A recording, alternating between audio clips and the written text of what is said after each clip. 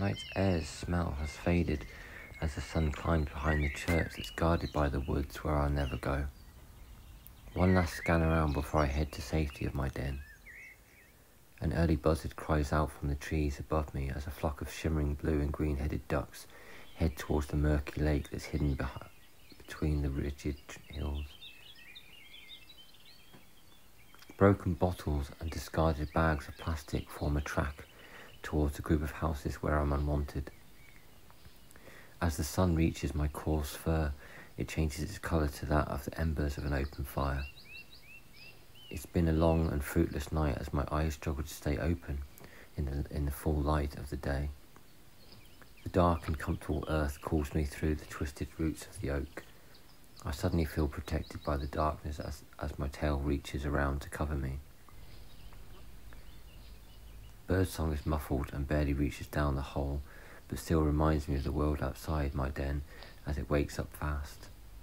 Sometimes it seems like a song thrush sits at the entrance and sings at full voice down into the dark, just to antagonize me as I sleep. No such annoyance from the songster today, though. An hour of peace drifts by in seconds until a distant and ferocious call is waiting for me from far away. Despite its distance, it's still enough to get me up and send, send broken-hearted shivers all over my suddenly trembling body. The bellowing sound of an unforgiving horn screams out. I've heard this call before and it haunts me. Like dark smoke on the horizon, the noise pollutes the sky.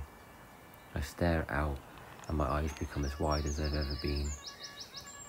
The rhythmic pounding of, ho- of hoof to the earth quarters the hedges as the horses follow a demanding order from the men cloaked in blood-red coats. They are still half filled away, but a second, even more harrowing horn screeches out. The only thing I know to do is to run. I've been seen in their view, and now they want me caught in their trap.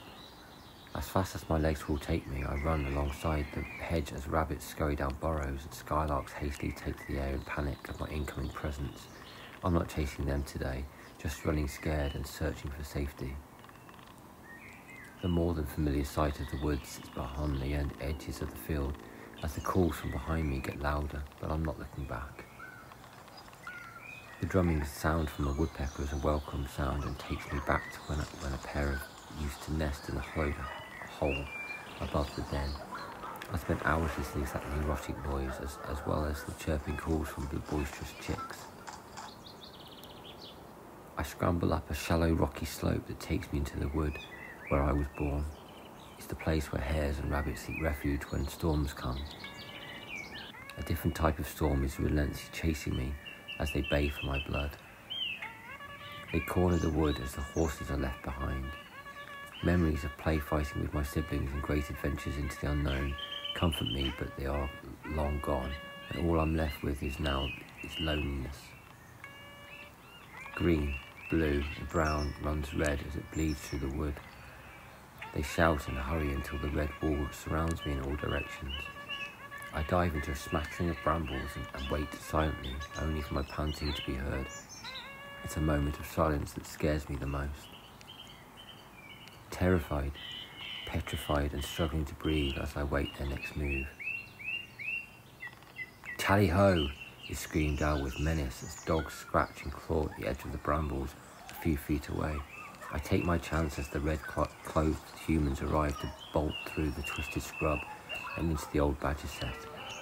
I've ended up in the hollow where I was born and have first memories of sleeping tight with my siblings whilst returning our mother to return.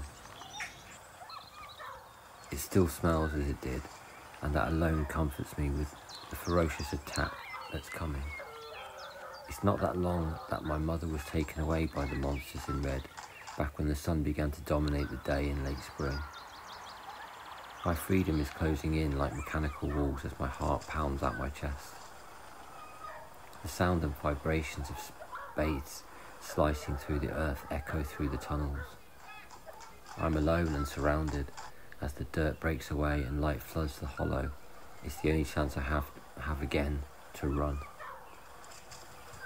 I pounce forward as the dogs bare their teeth and chew at the ends of my, of my tail and back leg. I twist and force myself free, As fast as I can run, I make it to the, out of the wood as my breathing falls out of control. Everything around me blurs as I scurry fast and low to the ground until I reach the middle of a barren field as a lone ash tree. I find sanctuary in the overgrown roots and close my eyes for a few precious seconds.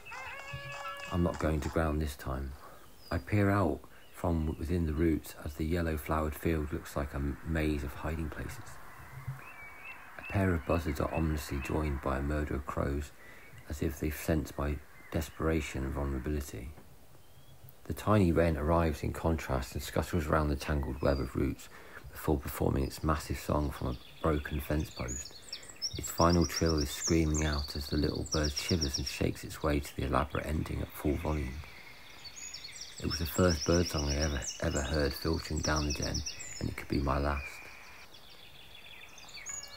The harrowing bark and cries of the hounds call out again as the red mist of men on horseback trample through the field like poppies bleeding through an oilseed canvas. Before they get too close, I summon the energy to run again. The shouting, the barking, and the raucous horns momentarily cease as I shut out all that surrounds me, as all I can see is the end of a dusty track in front of me.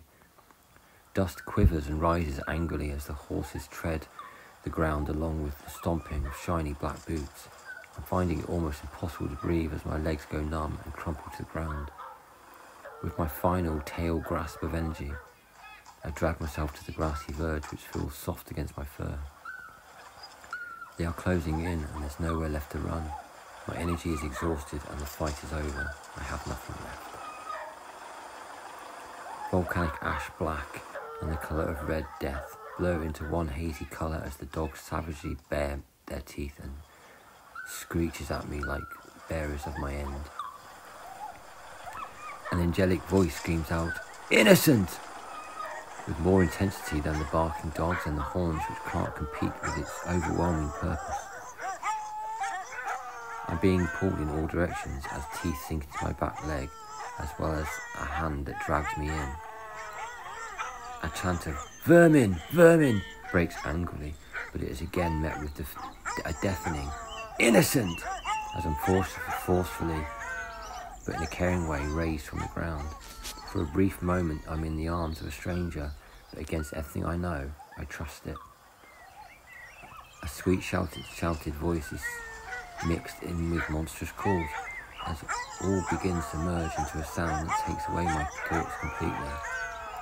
For a few precious minutes, I'm held close to her chest as the blood-curdling screams from the men and the violent barking fades away to almost nothingness as the sweet sound of a skylark resumes playing. I'm placed at the foot of a hedge, and after staring back to look at my saviour with a sadness in my eyes, once again I run without looking back. I'm through the spiked hedge and away. I briefly sniff the air and sense which way to go. I reach a stream that's almost dry from a long season of sun. I know my way home from here. Lick de- delicately at the wound as the blood runs slowly down my leg until it reaches the divide where the rufous red merges with sooty black. My wound will heal over time, but my memory will be scarred for as long as I ha- haunt the fields with the smashing of woodland. A thin band of mist provides a wall like a smoke screen as the sun twists its way through a tangled mass of clouds that do their best to stop the sun's escape. The familiar sight of the oak that's dressed in its vibrant summer coat is etched on the slope and brings me peace. There's no shadow cast as the sun is finally caught by the clouds. The light is be- being swallowed as I reach my sanctuary. I'm home and safe for another day as I'm welcomed back once again by the wren, who's been joined by a blackbird who sings the day into night. I don't know who you are or why you helped me, but now I'm running free and I'll never stop.